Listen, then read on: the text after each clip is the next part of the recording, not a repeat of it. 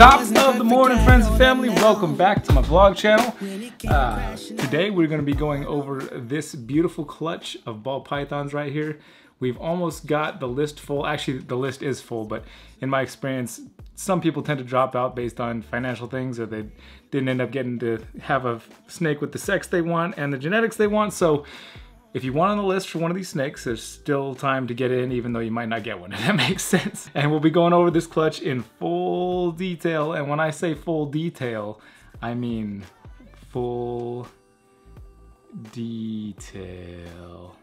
All right, right before we get into looking at the clutch, I've made a habit, a small habit, of uh, talking about my shirts. So I'm gonna share a quick story with you about this tank top right here. One fact you may not know is that I tend to not purchase any of my own shirts that I wear. I get gifts or people buy me shirts. I, I probably buy about 5% of the shirts that I actually wear.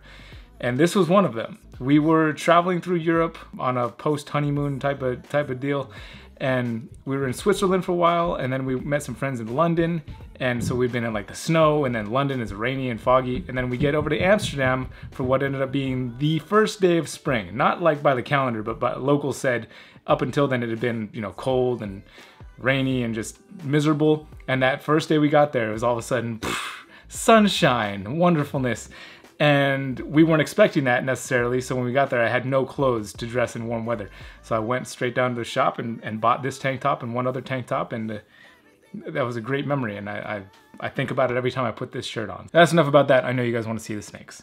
Okay, so this clutch was hatched out from my Superfly, Superfly, my Super Pastel Lesser Bullwinkle, who is the most beautiful Super Pastel Lesser I've ever seen in my life, to our Super Fire Girl Bernice. So we knew that every single snake was going to be at least Firefly because the Super Pastel guarantees to pass on pastel to all its offspring, as well as the super fire guarantees to pass on fire to all the offspring. So guaranteed fireflies in this clutch. And then the lesser from father uh, had a 50% chance to be passed on. And true to uh, odds, we got 50% lessers, firefly lessers, and 50% fireflies. It was exact perfect odds on genetics. So we're gonna go through each one of these one by one and we'll sex them all and we'll go over the details of them and then you guys can kind of make your decisions from there on what you think about it or just oogle over these beautiful snakes with me. So this one right here is kind of the lightest of the three, has I guess I would say the least amount of uh, black color even though it looks very black, it's, it's actually very, very dark brown almost. So it, maybe, maybe it could be argued that it, some parts of it are black, but again, this is the lightest guy. He's got that classic uh, Firefly black flecking in the blushing on the head.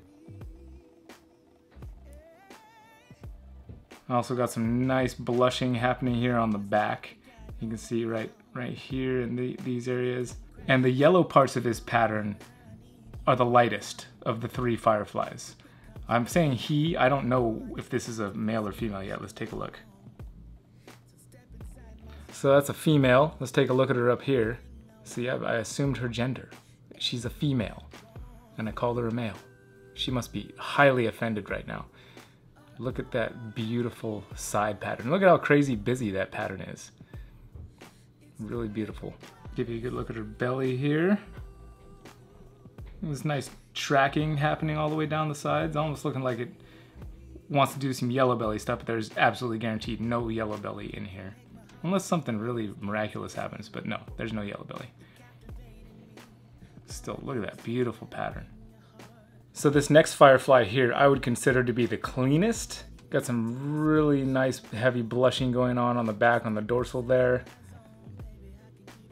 Blacks are very nice and really clean in the pattern. You'll see when I show you the next snake what I mean uh, when I'm saying this one is very clean. Got that cool little dot in the back of that, uh, what looks like, uh, I guess, uh, something very phallic on the back of his neck there. Oh, and again, I'm assume, assuming genders yet again. That's a boy. That's a little weenie popping out of there. Weenie, weenie, weenie, ween. There you go. Get a good look at that, uh, that blushing on the back there. Got these nice tracks happening down the belly. Very cool. Not as uh, busy and yellow belly looking as the previous snake. A little more clean. Uh, which gets the tail a little more broken up, but I love hatching out snakes. It's so freaking cool. All right, so we got one boy, one girl, Firefly. This one here will be the last Firefly in the clutch, and the rest are gonna be Firefly Lessers from here on out. Now I'm going to show you on the macro lens in a second here what I mean with this, this detail and uh, and how this one is is not nearly as clean.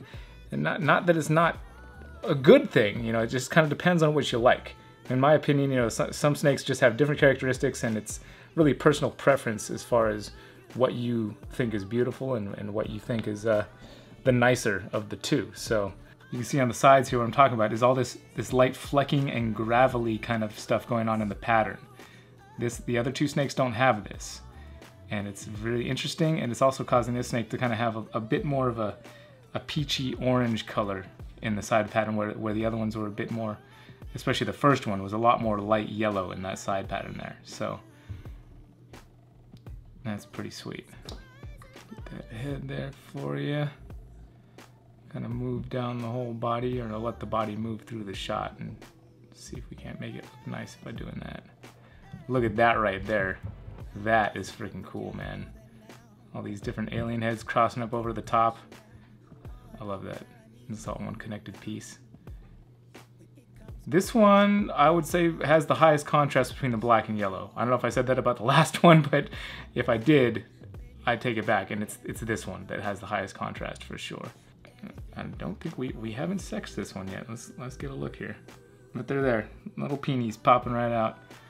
It's a peenie, peenie, peenie, peenie, peen. So it's another boy. So we got two firefly males and one firefly female. Looking real nice like. Let's get a shot of that belly for you right here. Mmm, belly shot. Mm-hmm. Mm-hmm. Mm-hmm. Mm-hmm. Mm-hmm. Mm-hmm. So not nearly as much tracking going on with this boy as there was on the other boy and girl. So this guy has a lot of different, the this is the most different of the two, I guess. Uh, given the fact that he doesn't have the tracking like the other two do, and given the fact that he's got that crazy gravelly stuff going on on his side pattern that the other two do not have. All right, on to the Firefly Lessers. This is the darkest of the three Firefly Lessers. And Lesser, of course, lightens up the snake quite a bit, so the other two are gonna be lighter than this. This is this is the darker one, and for a Lesser especially, it's, it's exceptionally dark. And also has what I would say is the highest contrast out of the clutch for the Firefly Lesser side of things. Let's get a look-see here. I mean, that look, feels like a female to me even without popping anything out, but let's be sure.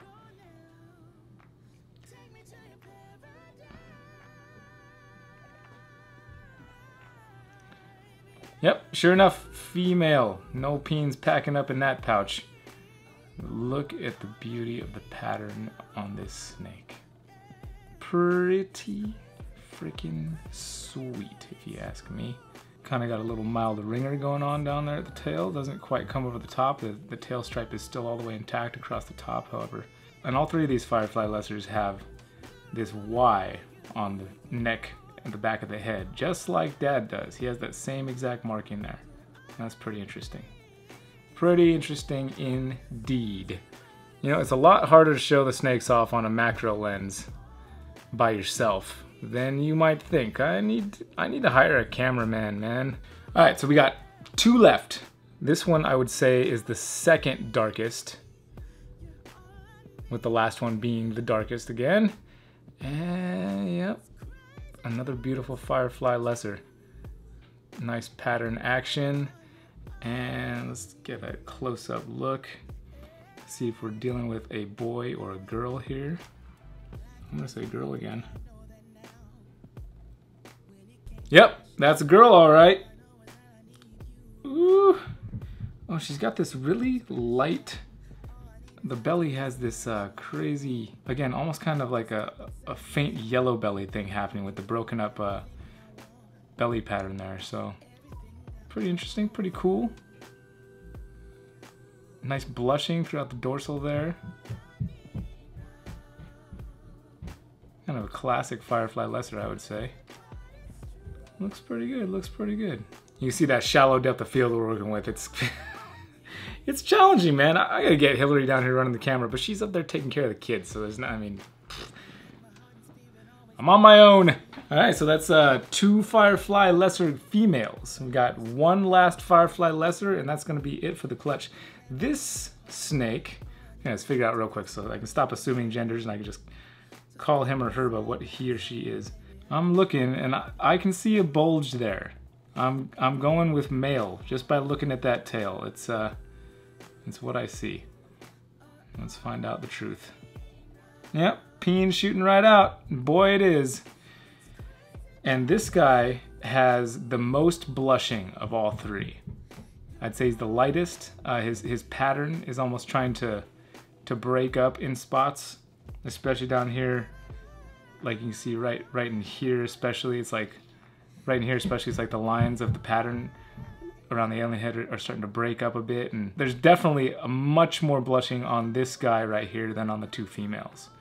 And it's interesting that the females are more similar and then the, the male is much different. Look at that, pretty cool.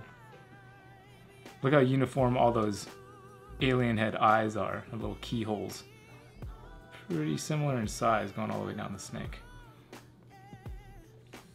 I think most of them had this nice tail stripe going on here too. Sweet, so that's the last one, a boy. So we got 2.1, which for those of you that don't realize uh, what the decimal points mean, if you say 2.1, it means you got two males and one female. It must have been a man who came up with that decision because males are first. 2.1 uh, fireflies and 1.2 firefly lessers. So we got exact perfect odds on this clutch. Like you couldn't have more perfect odds. We got exactly the odds on genetics. Half firefly lessers, half fireflies, half females, half males. You really couldn't hit any more perfect odds than that. That's exact perfect odds. Um, so cool, cool, nice, nice clutch to start out the season this year. And man, look at the blushing on that guy again. There's just really intense blushing going on on this this dude right here.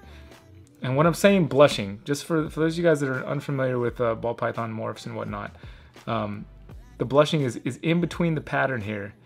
You just see how much, how faded out and, and almost white it is versus the other snakes who are much darker in between the alien head patterns like that. So yeah, just much heavier blushing on this guy. Thank you guys for letting me share this clutch with you. Um, I know it's Monday. We didn't do Music Monday today, but we're gonna do a Music Monday on Friday, which is kind of weird, but not as weird as it's gonna be when you actually see Friday's video and see that too. So it's we're doing Music Monday on Friday, and then Friday is just gonna just gonna just stay tuned for Friday. You'll see what happens.